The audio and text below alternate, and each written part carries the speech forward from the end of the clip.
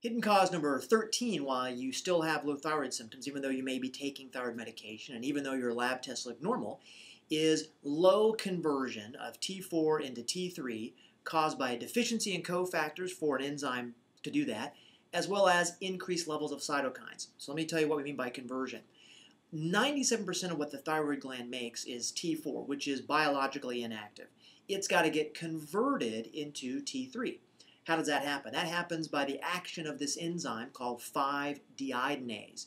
5-deiodinase primarily is going to uh, happen in your liver. And there are certain cofactors that have to be in place for this enzyme to be able to work correctly. And the number one cofactor for it is called selenium. Now, selenium is a mineral you, you may have heard of. Now, what would be the signs that someone has low conversion? Well, it'd be your classical low thyroid symptoms like depression, hair loss, uh, weight gain, uh, brain fog, dry skin, dry hair, high cholesterol, those sorts of things. Now, on lab tests, you may notice that the reverse T3 is low. That's a sign that that's a little indicator of how much conversion is happening. But you might also see free T4 and free T3 levels low, okay, or you may see total T3 levels low. But you may not see any of those. You may just have the low thyroid symptoms. Now, what would cause you to have a deficiency in selenium? Well, the number one thing you'd have to look at is malabsorption. Why would someone not be able to absorb selenium? First thing you got to look at is if they have something going on in the stomach acid uh, in their gut. Now, not, not, not too much stomach acid, but not enough stomach acid. If you don't have enough stomach acid, you can't demineralize your food. You can't suck the minerals out of it.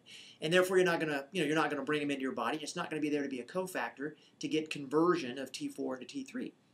Uh, what would cause that? What would cause there to be a low stomach acid? Well, the first thing you look at is H. pylori. It's a bacterial infection. And the best test you can do for that, in my opinion, is a urea breath test. So hopefully the doctor you're working with will know how to do that and would even know how to get rid of it if you've got it. You can also do what's called a stool microbial ecology profile. Why would you do that? Well, malabsorption can also be caused by if you have any inflammation in your GI tract, like in your small intestine, and that can be caused by parasites, yeast, overgrowths of opportunistic bacteria, dysbiosis. If there's a bunch of weeds growing in the garden, okay, that can cause malabsorption. And so you want to have somebody that you're working with that knows how to look for those things.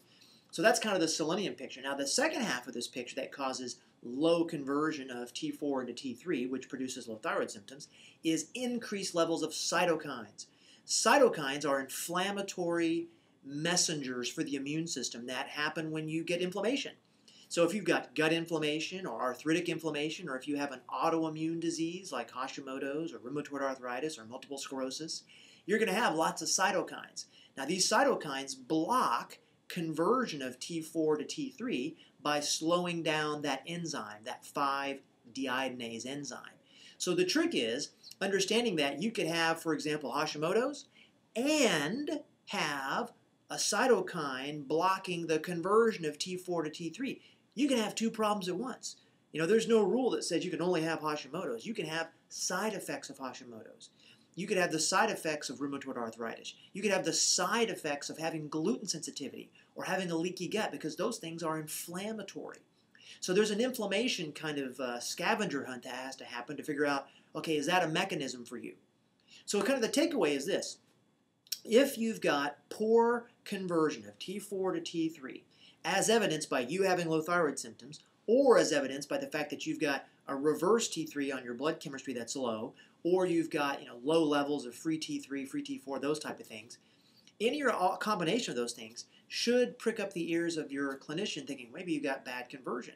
Conversion that is low can be caused by a selenium deficiency, which makes us look at H. pylori and you know, gut malabsorption and parasites, or it can be from cytokines blocking the activity of that enzyme. Where do cytokines occur? In inflammatory conditions. What are inflammatory conditions? Hashimoto's, rheumatoid arthritis, multiple sclerosis, psoriasis, uh, and all kinds of other food sensitivities, and even those gut infections cause elevations in cytokines. So it's not just a simple little formula we have to use. You got to put on your, you know, your detective badge and your, uh, your thinking cap and start looking for these things. So if you're still having low thyroid symptoms, this is something that should be considered. So you need to find someone that knows how to look for them and knows what to do if they find them.